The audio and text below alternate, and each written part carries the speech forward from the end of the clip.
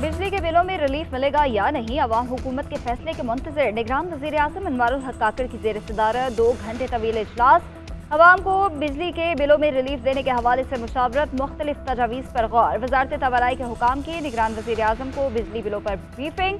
अनवारुल ने कहा कि बिजली महँगी होने से अवाम मुश्किल सूरत हाल से दो चार हैं।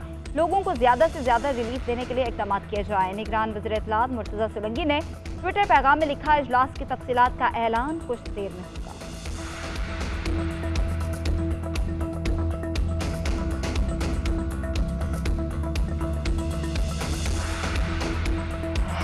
बिजली के बढ़ते बिलों के खिलाफ मुजाहरों में शिद्दत आ गई। शहर शहर आवाम सड़कों पर निकल आए। बिलों को आग लगा दी कराची लाहौर, पिशावर, फैसलाबाद, मुल्तान, खानेवाल समेत कई शहरों में एहतजाजी मुजाहरे, गुजरावाला में वापदा, ऑफ़िस का घेराव।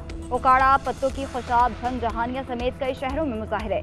बिजली के बिल उठाए शहरियों की नारेबाजी, कराची में मुजाहरा के इलेक्ट्रिक के खिलाफ नारे।